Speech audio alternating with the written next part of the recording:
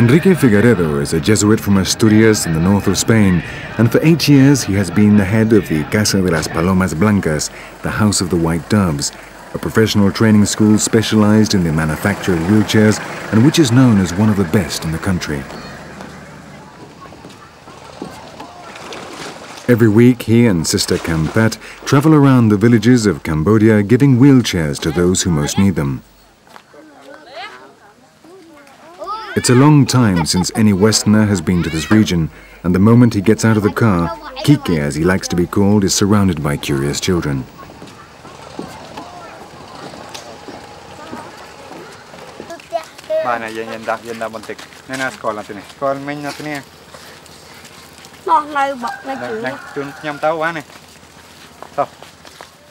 Mien Khan was widowed five years ago and lives in a modest shack with her four daughters.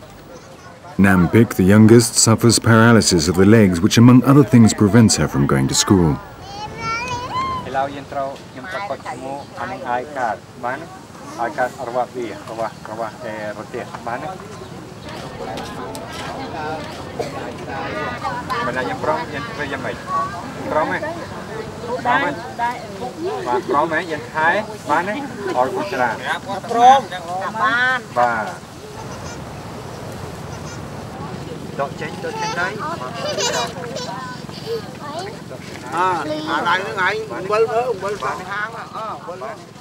In the yard, Kike helps Nampik as she tries out her wheelchair for the first time. Every year, someone from the mission will come and visit her to check the condition of the wheelchair.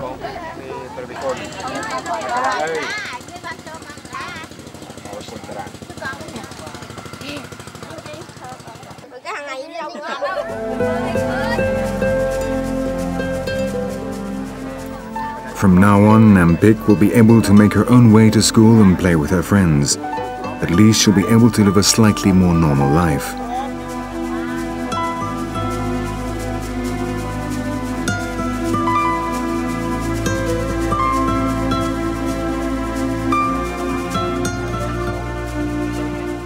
Back at the car, a peasant tells them that in a house on the outskirts of the village live two brothers, polio victims in subhuman conditions.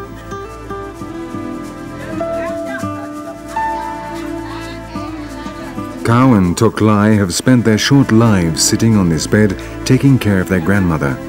The young one is also autistic.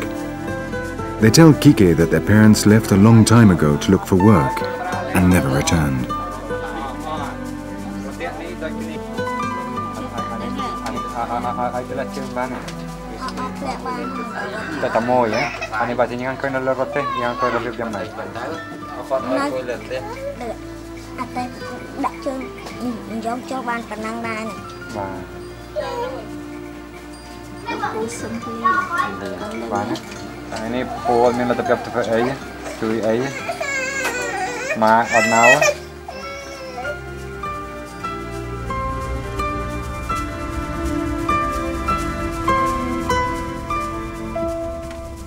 Kike is worried.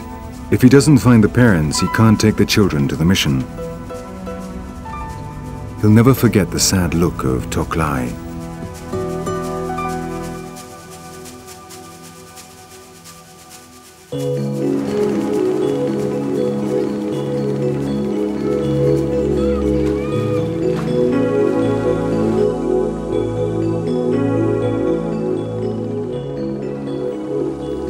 Our journey along the Mekong is coming to an end.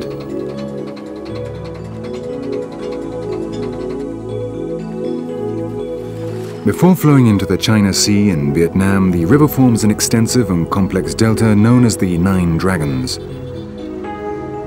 A network of 5,000 kilometers of natural and artificial canals carries the waters to the rice fields.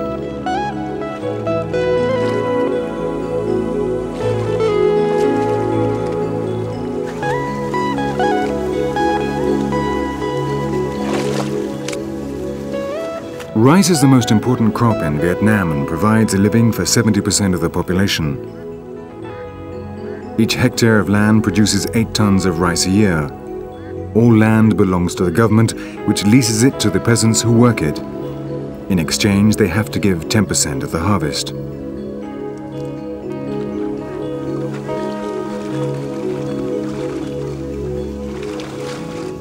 The success of the harvest depends on the summer monsoons. If these do not come, the level of the river falls so much that the seawater invades the rice fields, destroying the crop and causing starvation.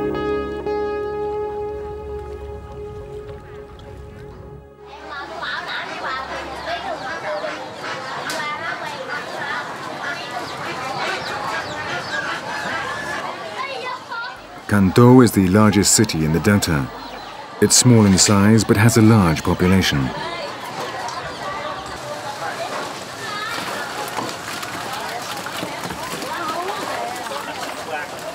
It's five in the morning and in one corner of the market the Lee family runs a flourishing fish business.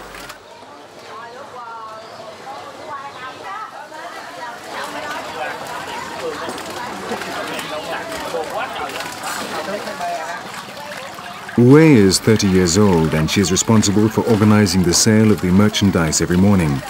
Her biggest customer is the government itself, which in turn sells to the restaurants and the workers in the state factories. Along with her, another 15 members of the family help to unload, classify and clean the fish.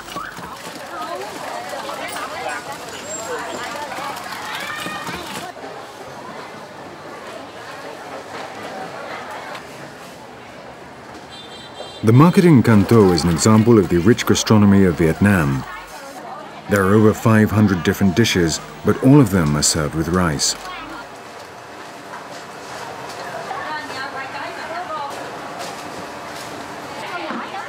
The Vietnamese boast that they eat everything that flies except the airplanes, everything that swims except the boats, and everything with legs except the tables.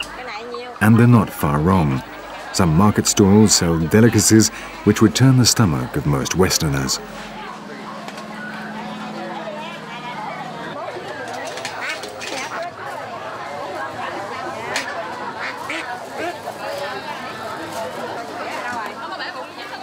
Vietnamese markets are also a good place to witness the ingenious ways in which people earn a living.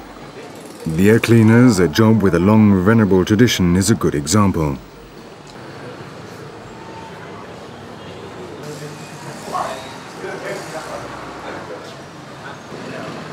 như là mấy cái dãy uh, cợn bợn dơ này nọ nó đóng ở trong lỗ tai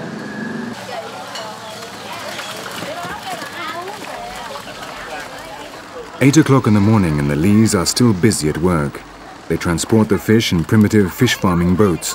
One of the Yue brothers and his eldest son Dan, who's 12 years old, are responsible for unloading.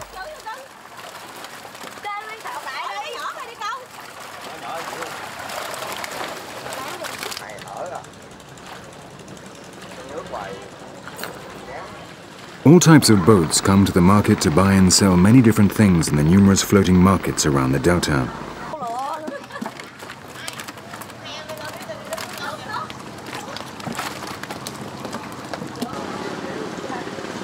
Most people live in small villages and never very far from the water which is their only means of transport.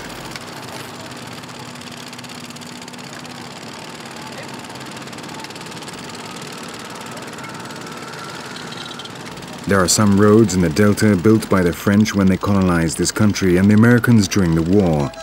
Most road transport depends on the ferries, but traveling this way is not easy. Because of lack of space, the farmers lay out the rice to dry along the roads, making it very difficult for traffic. So the Mekong has become the only real way to transport goods.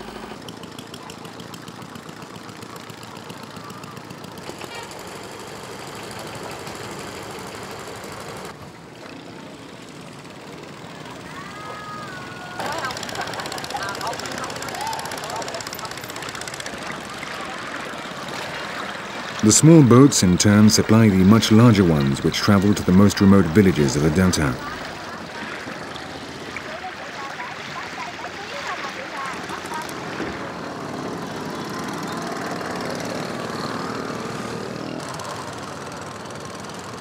It's 9 o'clock in the morning and in the floating market of Phong Dien, a few kilometers to the south of Can Tho, it's almost impossible to move. At times, it's difficult to know where the land ends and the water begins. The delta was, until the 18th century, part of the Khmer kingdom of neighboring Cambodia and was the last region to be annexed by Vietnam. The Cambodians have not forgotten this territory which still today they call Lower Cambodia. It is one more reason for the mutual hatred between the two countries.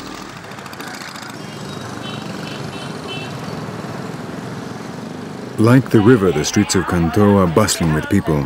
We mustn't forget that 77 million people live in Vietnam with a population density of 230 inhabitants per square kilometer.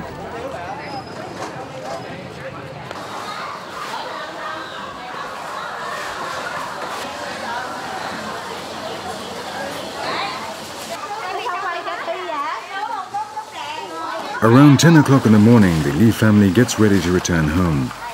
Today they have sold fish worth $405, an absolute fortune if we consider that the average salary of a civil servant is not even $30 a month.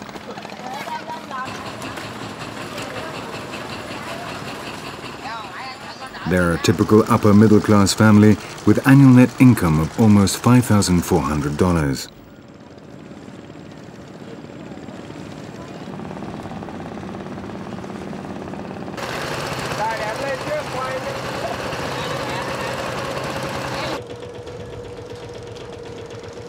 The Lees live quarter of an hour from the market on the other side of the main branch of the Mekong in a group of floating houses.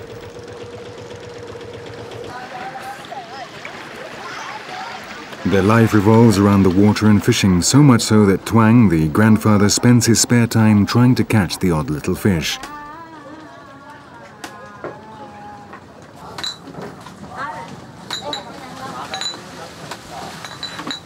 Soon as they get back, the women have to take care of the children while the men prepare the fish for the next day.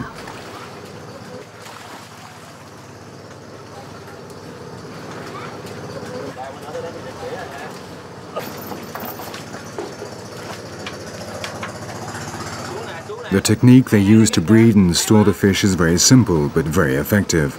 The fish are kept inside cages underneath the houses, and all they have to do to catch them is to lift the trapdoors in the floor and put down a net. The current of the river constantly renews the water inside the cages.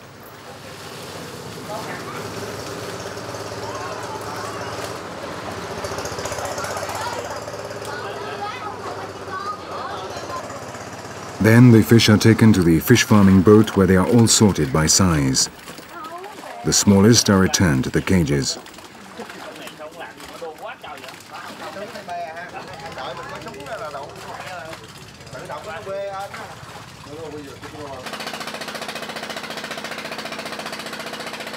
In another room, Nan Trang prepares the food for the fish, a paste made with flour and dried fish.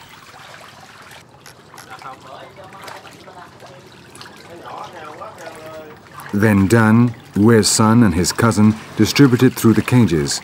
As soon as they have finished feeding the fish, Dan goes off to school.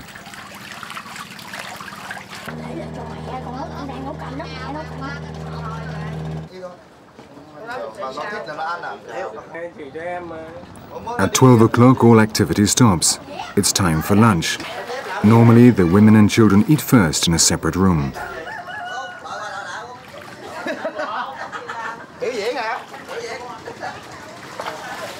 For the Lee family, lunch is almost a sacred ceremony, especially for the men. This is the only time in the day they can relax and chat.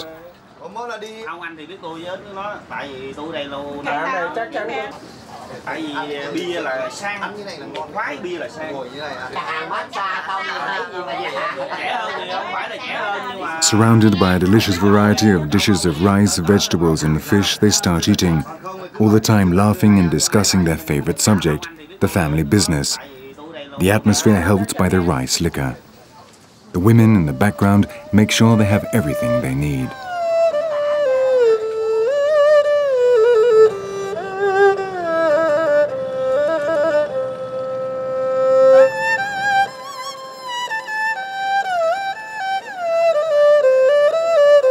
Soon it'll be night again, and little by little the inhabitants of the Mekong Delta return to their homes.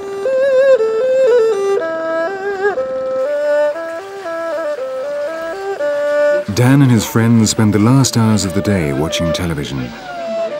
Tomorrow they will again have to get up at 4 o'clock in the morning to help their mother in the market, then return home to feed the fish before rushing off to school. But Dan doesn't mind. He well knows that in a few years, this flourishing business will be his.